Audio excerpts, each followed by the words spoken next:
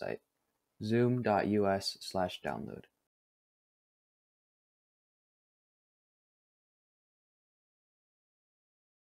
You can also get here by searching Zoom Download and clicking on the first page. Once you are on this website, click this download button. Then click on the Zoom installer on the bottom left corner of your screen.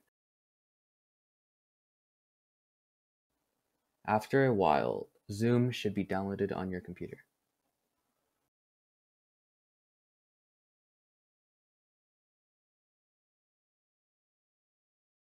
There are two ways to join a Zoom call.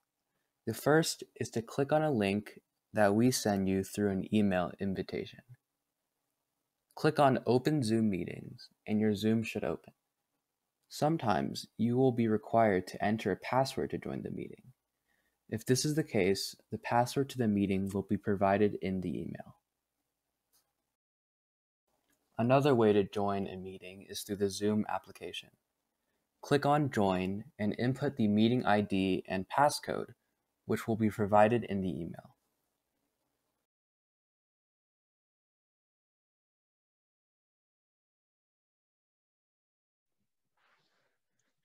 Hi, my name is Sonia, and I'm going to be showing you how to use the functions of Zoom once you've actually joined your meeting. So I'm going to be showing you that through some pictures of what your Zoom is going to look like once you join it. So first of all, probably the most important function of Zoom is the mute and unmute button. So if you if this is the screen you're looking at, your mute or unmute button is located in the lower left-hand corner right here, where there's a little microphone picture.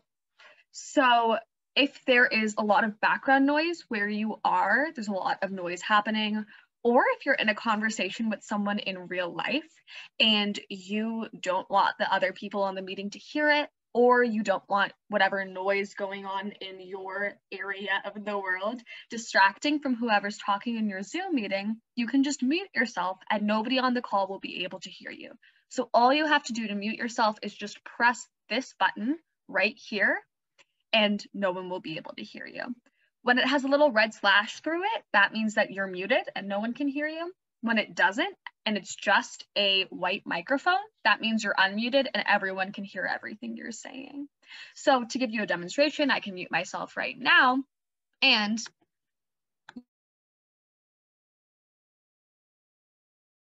so you couldn't hear me and I was talking. Then right next to the mute button is the video on off button. It's a little camera. So if you're doing something and you don't want the people on the call to see your video, then all you have to do is stop your video. It's the exact same thing. If you stop your video, you just click that button and it'll show a little red slash through it.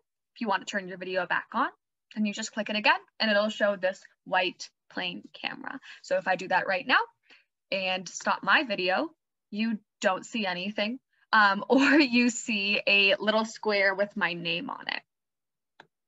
And now I'm back. Next is the chat function. So on Zoom, one thing you can do is write things out to people in a chat, like a text message or an email, and everybody will see it pop up on their screen.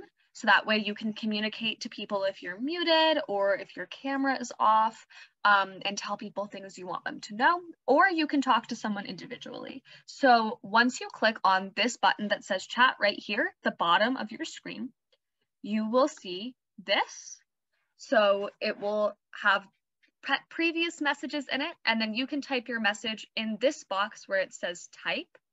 The box is a little covered by right, right now by this to box. So if you want to talk to everyone, you just select everyone and everyone in the Zoom meeting will be able to see whatever you say.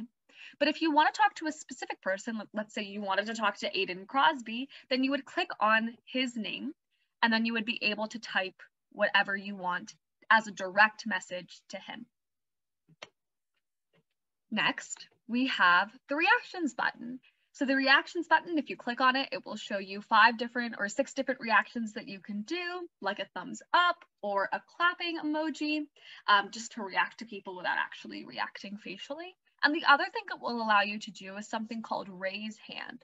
If you raise your hand on Zoom, it'll show you a little yellow hand in the corner of your screen. And that just notifies the host of the meeting so that they know that you want to get their attention and it shows that you want to say something. And uh, the other thing before the last thing is um, speaker view versus gallery view. So right now, this meeting you're looking at is in gallery view, which means that you can see everybody in the Zoom meeting all at once in tiny little boxes. The way you want to switch to speaker view is by clicking on this thing here that says speaker view. Sometimes it will also just say view and you'll click on it and select speaker view. It's at the top right corner of your screen. It's just a simple click. What putting yourself in speaker view will do is it will make it look like this. So instead of seeing everybody in little boxes, you will see one person as a big box in front of you, and that person will be whoever's microphone is the loudest right now. So whoever's speaking. And then the last thing is leaving the meeting. To leave the meeting, you just have to go down to this tiny little box that says leave right here, and it'll prompt you again. It'll go leave meeting, leave meeting, and you just click it twice and you're able to leave. Thanks so much for watching. I hope this was helpful. Have a wonderful rest of your day.